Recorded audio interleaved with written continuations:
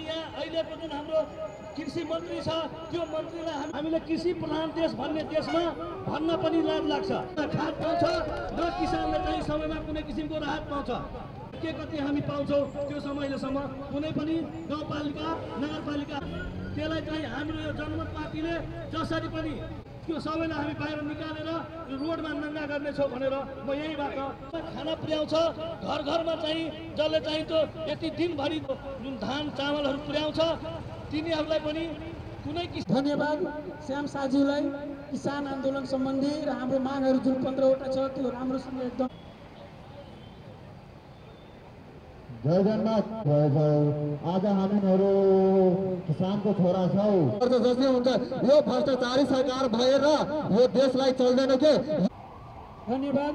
हाम्रो दिपक शर्मा नेपालमा भनेपछि पानी फालम गर्न चाहन्छु। म ए तपाईँहरूलाई मेरो नाम चाहिँ कैमिया हो भने घर चाहिँ पर्सा बिरगन्ज हो होइन।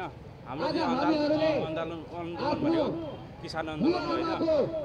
किसान आन्दोलन किन गऱ्यो हो भने हामीले हामीले चाहिँ पुरै सामानहरू चाहिँ इन्डियाबाट ल्याउनुपर्छ। अनि हाम्रो चाहिँ यो माग छ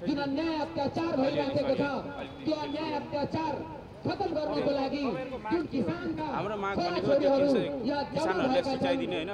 अनि त्यो किसान किसान कार्ड बनाइदिनु पर्ने होइन। छोराछोरीहरूलाई म त्यस्तै हृदयदेखि त्यस्तै हो। धन्यवाद दिन चाहन्छु ताकि कुनै एउटा आफ्नो समय अमूल्य समय निकालेर आउनु भएको छ।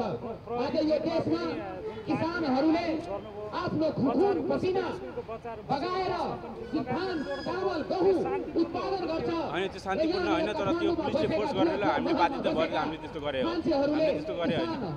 त्यो पुलिसले हामीले बाध्यता गराएको हो कि? नै खान्छ। उहाँहरूले खाने बेलामा भात खाने बेलामा उहाँहरूले होइन होइन। त्यो हामीले त्यो पुलिस सम्झाउनुपर्छ। त्यो बच्चाहरूले बसेको बसमा हामीले ढुङ्गा हानेको छैन। तर पुलिसहरूले हामीलाई चाहिँ लाठी लाठीचार्ज गर्दाखेरि हामीले बचाउ गर्दाखेरि होइन रोकेको हो कि त्यहाँ त्यस्तो। सकिसकेपछि कुनै सरकारी कर्मचारीहरूले जब पेन्सन पाउँछ भने यो देशलाई अस्सी प्रतिशत योगदान दिने किसान जुन आफ्नो सोह्र वर्षको उमेरदेखि सत्तरी अस्सी वर्षसम्म अब तपाईँले हेरिरहनु भएको छ यस्तै हो हामीले गरिरहेको त्यहाँ होइन तर पुलिसहरूले हामीले फोर्स गरेर त्यो बाध्यता गरेको हो क्या जसरी नेपाल सरकारको